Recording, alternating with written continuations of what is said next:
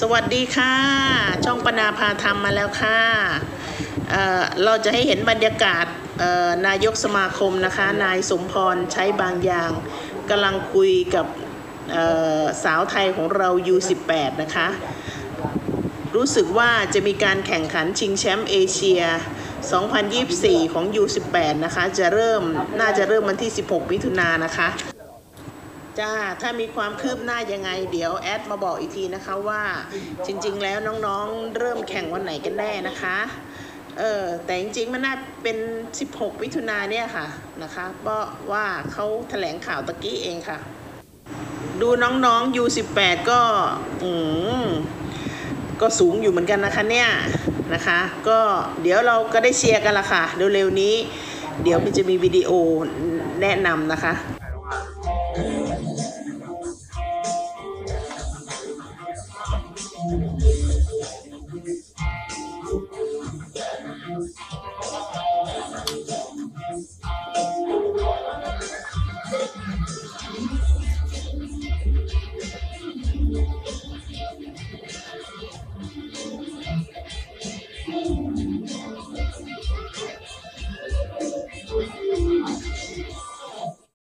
เดี๋ยวเราไปฟังนายกสมาคมพูดถึงน้องๆ U18 ที่จะแข่งชิงแชมป์เอเชีย 2024 แล้วก็สาวไทยชุดใหญ่ของเราที่ไปแข่งรายการ VNL นะคะ ที่หมาเก๊ามาแล้วก็สนามอื่นมาไปฟังจ้ะทีมชาติชุดใหญ่ของเรามาสู่การพัฒนาระดับเยาวชน เน้นไปที่การพัฒนาในระดับภูมิภาคอาเซียนนะครับ ก็ถือว่าเเราสามารถยกระดับการพัฒนาในภูมิภาคอาเซียนได้จะเห็นชัดเจนอย่างเวียดนาม อินโดนีเซีย ฟิลิปปินส์ทีมระดับเยาวชนก็มีมากขึ้นนะครับ จากเดิมที่เมื่อก่อนไม่มีทีม ตอนนี้ก็พัฒนาไปสูงขึ้นดีขึ้นนะครับ ในส่วนของการแข่งขันชิงเลิศแห่งเอเชีย รุ่นอายุต่ำกว่า18 ปีเนี่ยก็ถือว่ามีความสำคัญนะครับ นอกเหนือจากเป็นการแข่งขันเพื่อความเป็นเลิศของเอเชียแล้วเรายังจะทำให้ทีมที่ได้รางวัลชนะที่หนึ่งที่สองที่สามเนี่ยได้สิทธิ์ นะครับ หรือโคต้าไปร่วมการแข่งขันชิงแชมป์โลกในปีหน้าด้วยนะครับ เพราะรายการนี้ก็ถือว่ามีความสำคัญ ซึ่งเราจัดที่นครปฐมกับราชบุรีนะครับ ซึ่งทั้งสองจังหวัดก็มีความพร้อมในทุกด้านนะครับนครปฐมก็คงไม่ต้องพูดถึงนะครับ เพราะว่าเป็นเจ้าภาพจากการแข่งขันระดับนานาชาติมาโดยตลอดนะครับราชบุรีเราก็เคยไปจัดอยู่แล้วนะครับ ก็มีความพร้อมนะครับ ทั้งทางจังหวัด ทั้งอบจเทศบาลสมาคมกีฬานะครับ แล้วก็หน่วยงานต่างๆ ก็ ให้ความร่วมมือเป็นอย่างดี เราก็คิดว่าการแข่งขันครั้งนี้ก็คงเป็นไปด้วยความเรียบร้อยก็เชิญแฟนกีฬาวอลเลย์บอลนะครับ ติดตามให้กำลังใจนะครับนักกีฬาวอลเลย์บอลระดับเยาวชนของเรา ในส่วนทีมของเราเนี่ยนะครับในส่วนของพิเศษครับเนี่ยเราก็หวังว่าทีมเราน่าจะได้เป็นทีมที่ชนะเลิศนะครับ ในส่วนของการแข่งขันอายุต่ำกว่า 18 ปีเนี่ยเราก็จะพยายามนะครับติดหนึ่งในสามให้ได้ เพื่อจะได้สิทธิ์ไปเข้าร่วมการแข่งขันชิงแชมป์โลกในปีหน้าครับก็ตอนนี้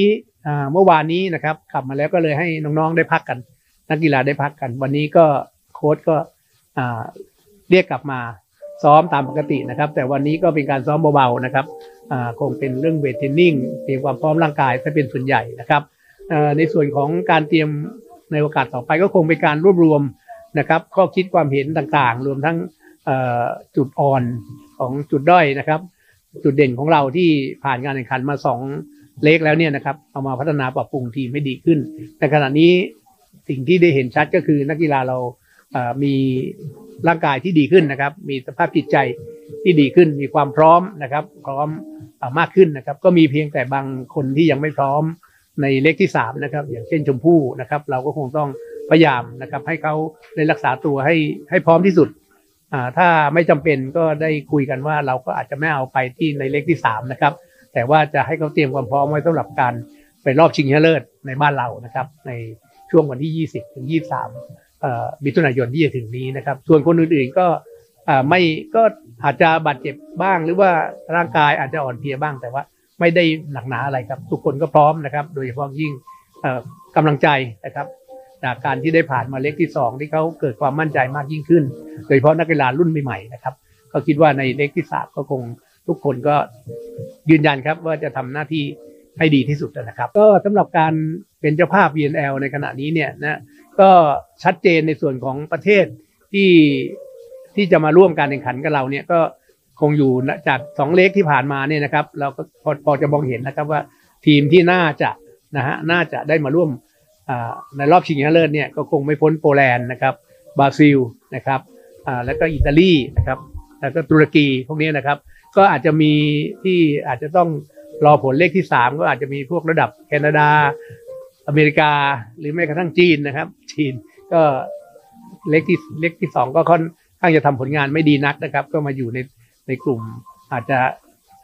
กลุ่มเสี่ยงนะกลุ่มเสี่ยงสำหรับเข้ามา แต่ว่าสี่ห้าประเทศแรกเนี่ยหน้าหน้าที่ดูแล้วหน้าที่จะได้มาเล่นในประเทศเราก็เป็นทีมระดับท็อปนะครับ แล้วก็เป็นทีมที่ ผ่านการแข่งขันไปเล่นโอลิมปิกทั้งนั้นนะครับ เพราะนั้นผมคิดว่าเป็นโอกาสดีสำหรับพี่น้องแฟนกีฬาวอลเลย์บอลชาวไทยเราจะได้ชมนะครับ นักกีฬายอดนักกีฬาวอลเลย์บอลใน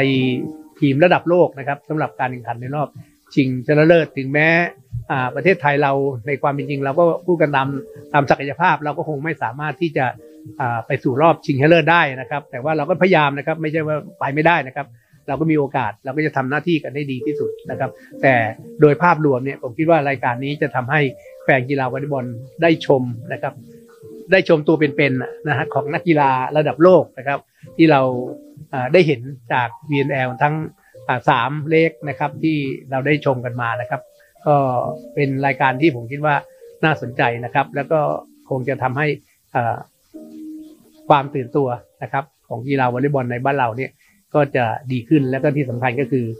สร้างชื่อเสียงนะครับ ภาพภาพภาพลักษณ์ที่ดีนะครับของประเทศไทยประเทศไทยเรานะครับ ในสายตาชาวโลก โดยเฉพาะอย่างยิ่งนะครับ ความเป็นเมืองวอลเลย์บอลที่ผมคิดว่าทางสหพันธ์วอลเลย์บอลโลกก็พยายามนะครับและก็จะก็จะพยายามนะครับที่จะ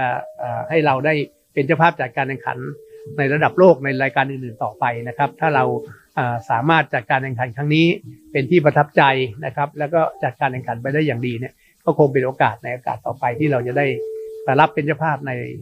ระดับโลกด้วยนะครับ ก็ต้องขอบคุณทางรัฐบาลนะครับ การกีฬาประเทศไทย ทางกองทุนพัฒนาการกีฬาแห่งชาติเดิมเขายิ่งกระทรวงการท่องเที่ยวและกีฬานะครับท่านรัฐมนตรีว่าการกระทรวงการท่องเที่ยวและกีฬาที่ท่านได้เเห็นความสำคัญ และก็สนับสนุนทางงบประมาณสำหรับการจัดการแข่งขันรายการนี้นะครับอะทีนี้เราจะตัดมาดูความฟิตของใครเอ่ย นี่ไงของน้องชมพู่นี่เอง พรพันธ์เกิดปราดนะคะ อันนี้เขาเขาซ้อมอยู่ที่เมืองไทยเนี่ยนะคะ ตอนที่เพื่อนๆไปแข่งนะ ชมพู่เขาก็ดูแลร่างกายอย่างดีนะคะเนี่ยเห็นไหมคะเนี่ยซ้อมอยู่คนเดียว ซ้อมกับพวกชุดบีหรอมั้งเนี่ยนะคะเขาซ้อมทุกวันทุกวันน่ะฟื้นฟูร่างกายสภาพร่างกาย เมื่อกี้นายกสมาคมบอกว่าชมพู่อาจจะยังไม่ได้ไปใน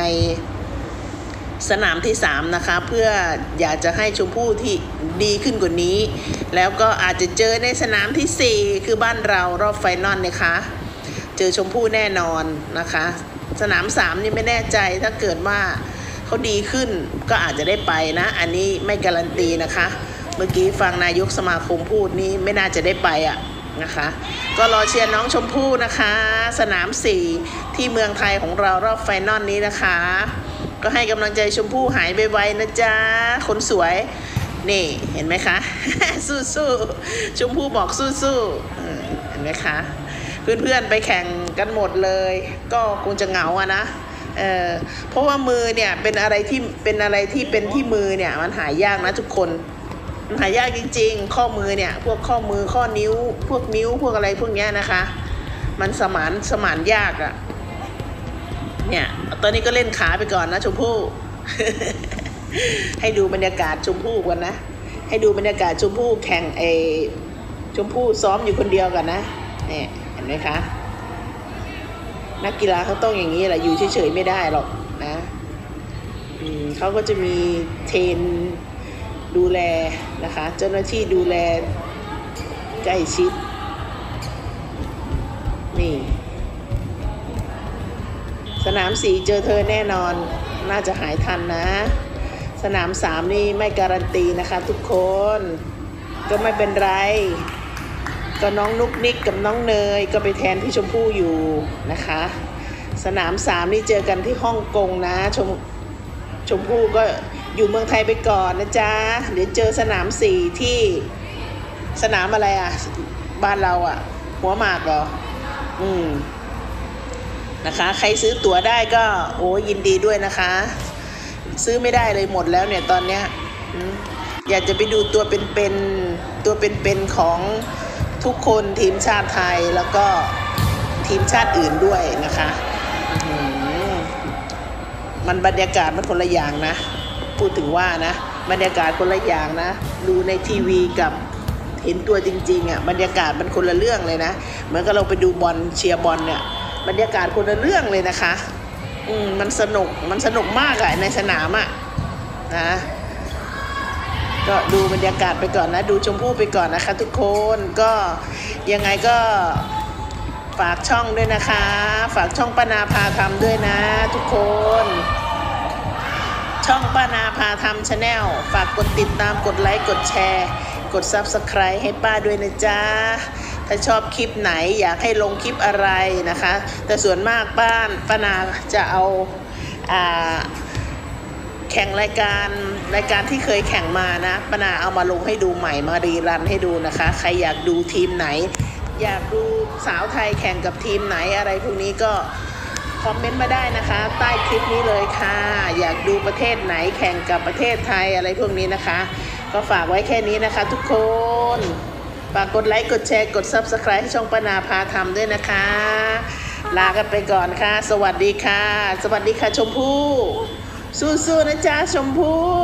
โอเคค่ะ สวัสดีค่ะ